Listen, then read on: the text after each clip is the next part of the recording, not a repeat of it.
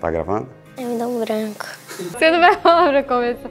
Vou começar daí para frente. Olá pessoal, Pastor Fabiano, Cela Resgate. Eu vim aqui falar com vocês sobre Casa de Paz. Neste mês de abril a gente começa com as pregações intencionais nos nossos cultos. Vai ser um tempo muito especial. Convoque a sua cela para esse tempo de oração pela Casa de Paz. Casa de Paz é um veículo de evangelismo muito forte. Não fica fora dessa, vamos juntos e Deus vai nos abençoar em nome de Jesus. Amém.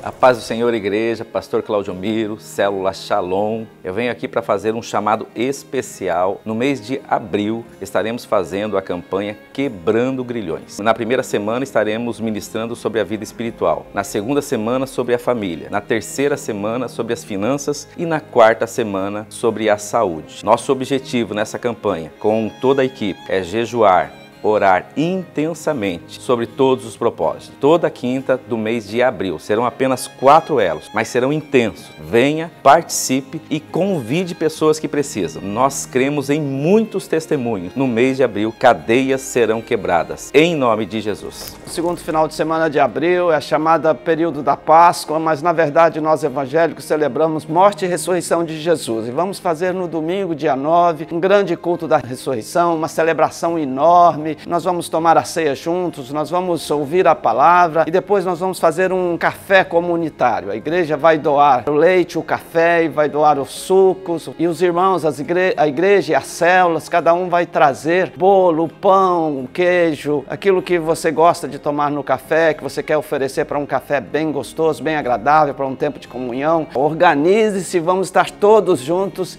nesse dia especial. Olá, amados. Quero convidar você para a nossa mini vigília que vai acontecer no dia 14 de abril, às 21 horas. Eu creio em Deus que essa será muito melhor que a anterior, porque Deus quer falar conosco. Então, você está convocado, chame a sua célula, vamos buscar o Senhor. Amém?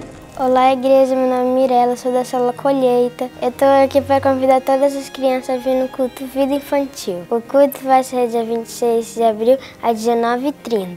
Somos os amiguinhos que vai ser muito legal. Vem! Ei, gente, eu sou Tamires, da Célula 10.3 e eu quero convocar você, jovem, para estar aqui com a gente no próximo Cultuão, que vai acontecer no dia 28 de abril, às 8 horas. Será um tempo muito especial, então chame sua célula, não deixe de vir para juntos buscarmos mais do Senhor. E eu também quero te lembrar que toda segunda-feira nós temos nossa sala de oração, o Senhor tem nos encontrado toda semana. Estamos juntos orando a palavra, cantando a palavra, então se você pode estar aqui, não perde essa oportunidade. Espero vocês.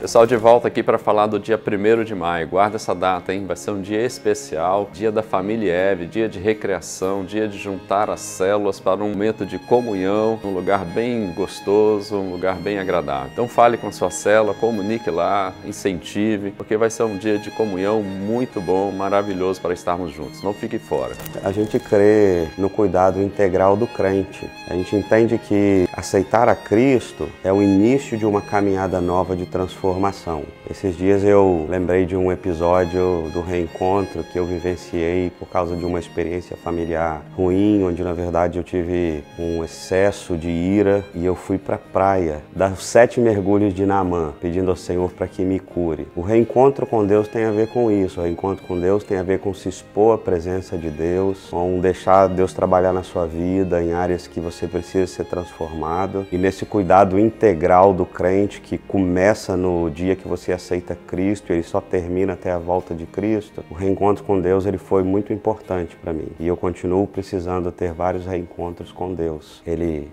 impacta a minha vida, impactou. Eu tenho certeza que também vai impactar a sua.